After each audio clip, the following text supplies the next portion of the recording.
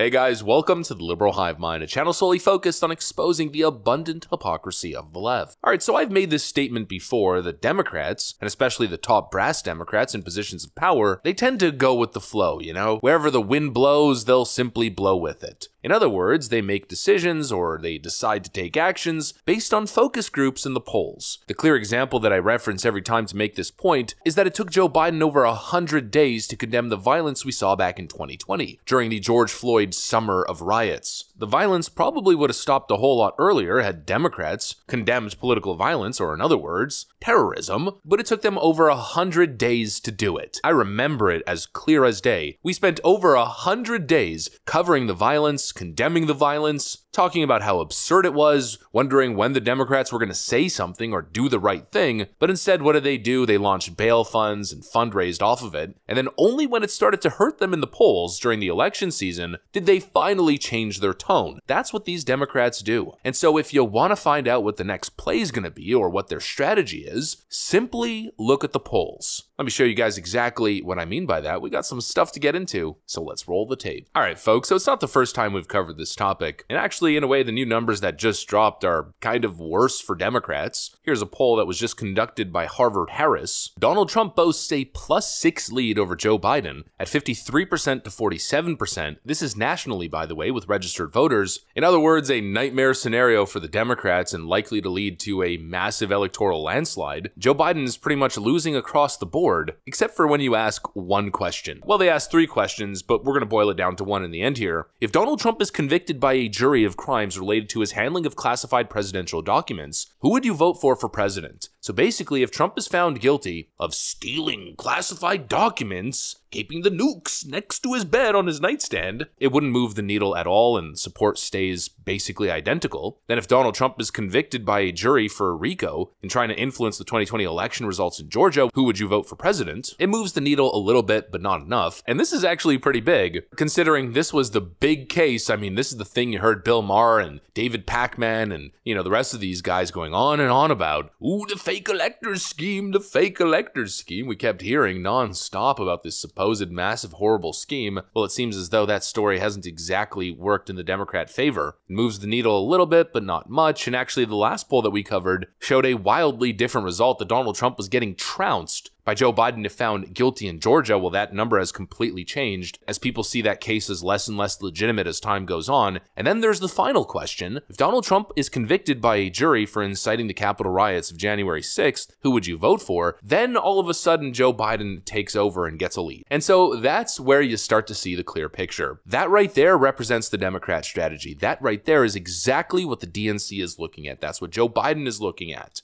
Make no mistake, I mean, let's be very clear here. We know what's going on. The Biden administration, the DNC, uniparty deep state is behind these convictions, or rather these indictments. And so obviously there's some sort of political calculus here. I wouldn't be surprised if moving forward we see the Democrats go all in on Jack Smith's January 6 case. It's the only one that they're fighting tooth and nail to keep the current scheduled trial date for. That case happens to be going to trial on March 4th, right before Super Tuesday, and we have seen an un unrelenting effort from Jack Smith and all of his cronies and every really every legal arm of the Democrat Party. In other words, the entire Department of Justice, even recently Merrick Garland, taking to the media to interject himself, making the argument that a speedy trial and a early trial date here is justified. The department has policies about steering clear of elections.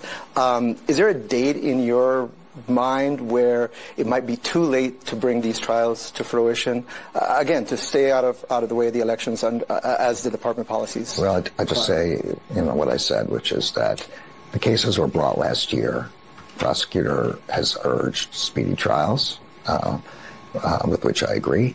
Um, and this is now in the hands of the judicial system, not in our hands. And so I guess the point that I'm trying to get to is that this tells you everything that you need to know. This is what they are going to try to do. Joe Biden has tried everything else. He's tried Bidenomics. I'm the greatest economic president since pretty much ever. He's tried the whole wisdom and foreign policy genius, the whole Dark Brandon meme. Don't mess with Joe Biden. He may be old, but his age, of course, it's not a downfall. It's a benefit. There's no one with as much experience as Joe Biden, they tell you. What must be what? Not exactly working. They've tried everything under the sun, everything you could possibly imagine to actually run a normal campaign. It just isn't working. It isn't in the cards for them. And so the last ditch effort, you know, what they're going to revolve their entire campaign around, I think, is really the legal efforts. They want to take Donald Trump down by taking him down in the courts by stacking the deck against him. A leftist judge, a leftist prosecutor, a leftist stacked DC jury, and a rushed trial. That is what they're trying to do, because that's their only hope. I mean, Joe Biden is losing everywhere. Trump's favorability rating, just released by this same HarrisX poll, has him at a tie at 48 to 48. Joe Biden's headed towards the 30s. Trump is leading pretty much everywhere. I mean, just look at the polling averages. He's up two points across the board. It's red as far as the eye can see. A couple Biden leads, but they're basically statistical ties and they're also anomalies or outliers from some of the most leftist pollsters you could imagine in the Quinnipiac poll here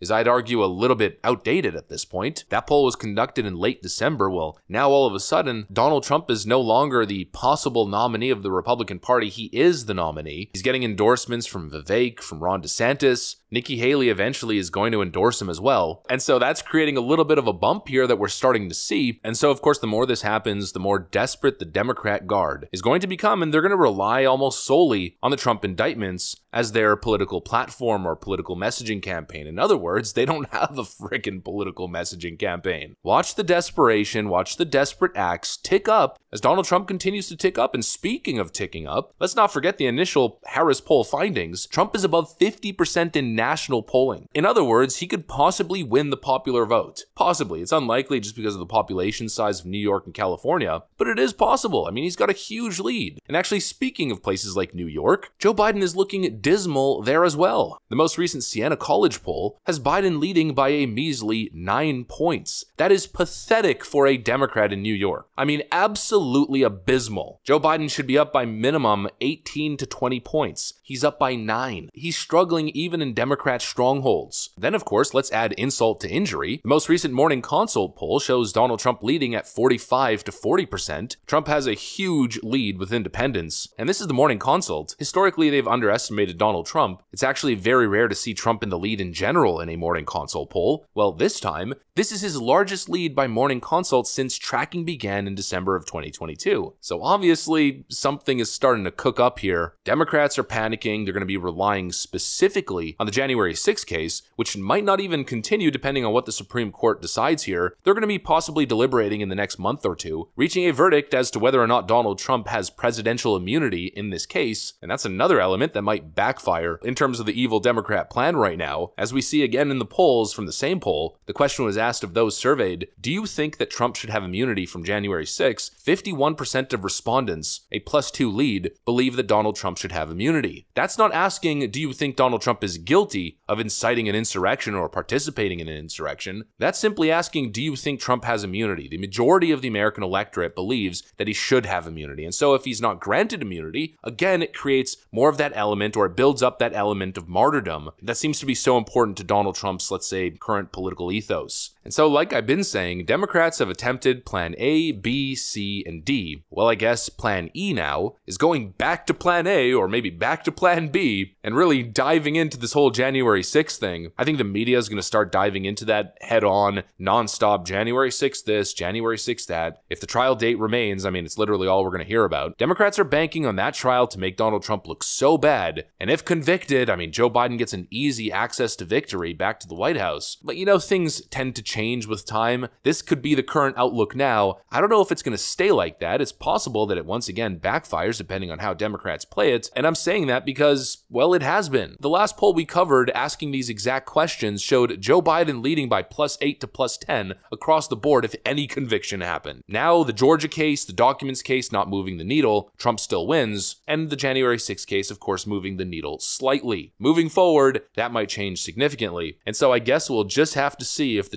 Democrats' evil plans end up leading to the results that they're expecting. I'm not so sure. Let's see what they do as their backs are now against the wall. Anyways, that's what I got for you guys. Hopefully you enjoyed this video. If you did, make sure to leave a like and possibly subscribe to the channel. Thanks for watching, and I'll see you on the next one.